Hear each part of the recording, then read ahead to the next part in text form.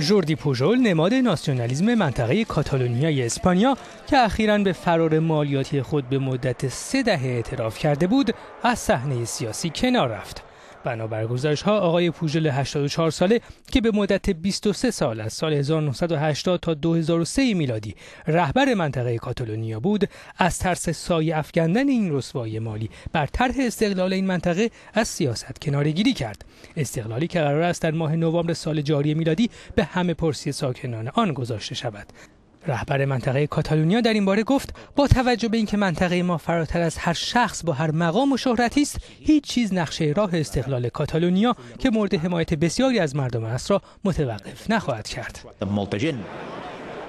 دولت مرکزی اسپانیا مخالف به همه پرسی گذاشته شدن استقلال این منطقه است و به همین دلیل ساکنان آن در چند سال گذشته چندین تظاهرات بزرگ برای برگزاری این همه پرسی به راه انداختهاند.